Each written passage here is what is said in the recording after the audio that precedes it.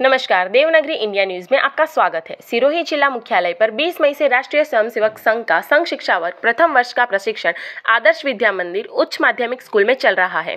शनिवार 3 जून की शाम को सभी स्वयंसेवकों ने कदम से कदम मिलाकर पथ संचलन निकाला, जो सिरोही शहर के प्रमुख रास्तों से होकर निकला।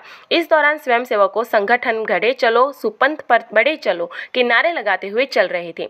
स्वयंसेवकों के प्रशिक्षण पथ पर संचलन के कदम ताल का साथ देने के लिए बैंड की भी व्यवस्था व्यवस्था रही। सिरोही शहर के प्रमुख रास्तों से निकले पंथ संचलन का जगह जगह नगर वासियों ने पुष्प वर्षा कर स्वागत किया।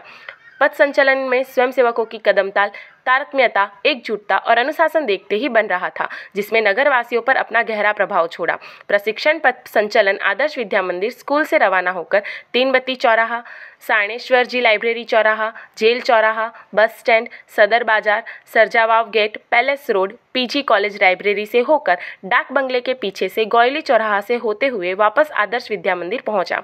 स्वयंसेवक संघ के प्रशिक्षण में जोधपुर प्रांत के 21 जिलों के युवा भाग ले रहे हैं, जो 9 जून तक चलेगा। देवनगरी इंडिया न्यूज़ के साथ बने रहने के लिए धन्यवाद।